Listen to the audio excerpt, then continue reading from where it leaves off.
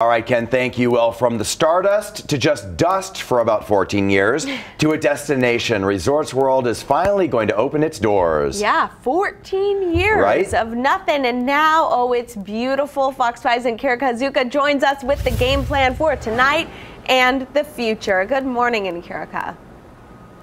Hey, good morning, guys. So, yes, this is a huge day in the making. So many people have been waiting for the beautiful Resorts World to finally open. It's going to be a whole guest experience with three different hotels, something for a little bit of everybody. Definitely one of uh, going to be a staple here on the Strip. And one thing that's interesting, it's here on the north side of the Strip, which we know is pretty neglected compared to the rest of the Strip. And we we talked to the president of Resorts World, Scott Sibella, and he says they love the location because they want to be able to revitalize it, make it better, help it bounce back, especially after the year we've had with the pandemic and the uh, the hit the economy took be- because of it.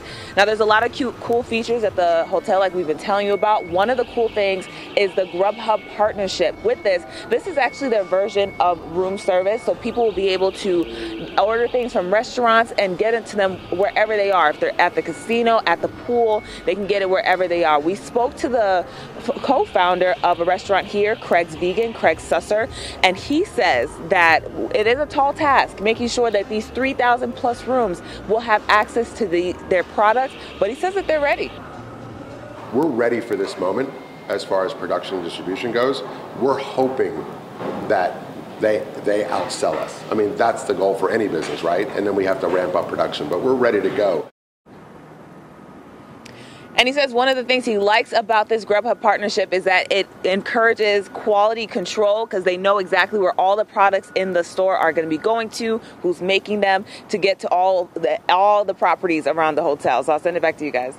So, in Kirka, do we know yet, um, since there's three different hotels there, I feel like if I go up to the front desk, I'm gonna be, I'm gonna have a different um, mindset. If I'm, if I'm staying, if I'm like, uh, give me a room at the Hilton, versus, I'd like to stay uh, at a suite at Crockford's. Crockford. So is there a difference? I mean, do you have a choice?